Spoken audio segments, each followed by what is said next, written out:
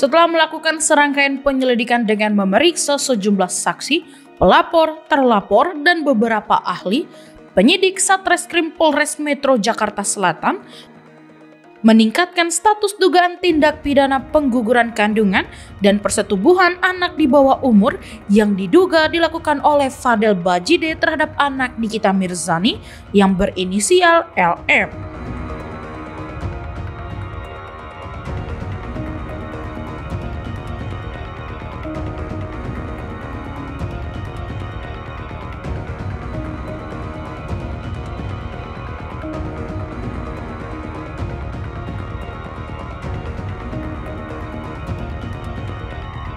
Pada Jumat sore, Kabit Humas Polda Metro Jaya Kombes Pol Adi Arisiam Indradi menyampaikan bahwa penyidik Satreskrim Polres Metro Jakarta Selatan telah memutuskan untuk meningkatkan status kasus yang dilaporkan Nikita Mirzani terhadap Fadel Bajide.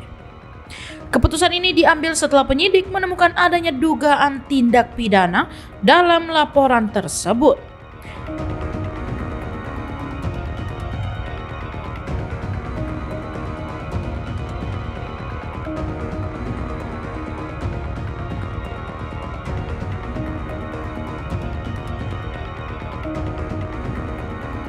Perkembangan penanganan kasus yang ditangani oleh rekan-rekan kami dari Satreskrim Polres Metro Jakarta Selatan terhadap peristiwa dugaan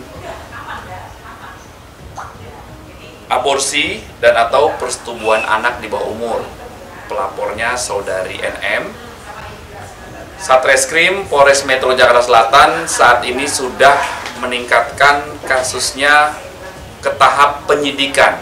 Ya, apa itu tahap penyidikan? Tahap penyidikan adalah serangkaian kegiatan penyidik untuk mendalami atau membuat terang sebuah peristiwa guna menemukan siapa tersangkanya. Setelah dinaikkan penyidikan ini, maka saksi-saksi yang sebelumnya dilakukan klarifikasi di tahap penyelidikan itu diperiksa periksa lagi namanya menjadi BAP berita acara pengambilan eh, berita acara pemeriksaan dalam rangka penyidikan.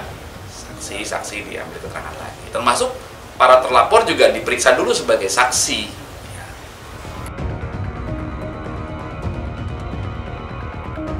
Dalam waktu dekat, penyidik akan kembali memeriksa seluruh saksi termasuk pelapor dalam rangka penyidikan kasus dugaan pengguguran kandungan dan persetubuhan anak di bawah umur ini.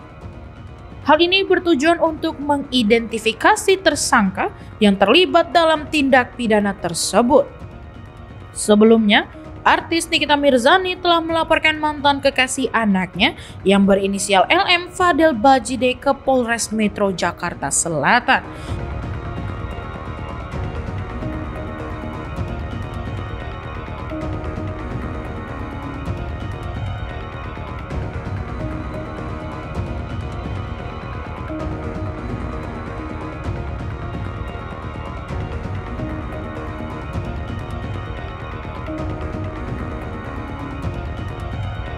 terkait dugaan kasus pengguguran kandungan dan persetubuhan anak di bawah umur.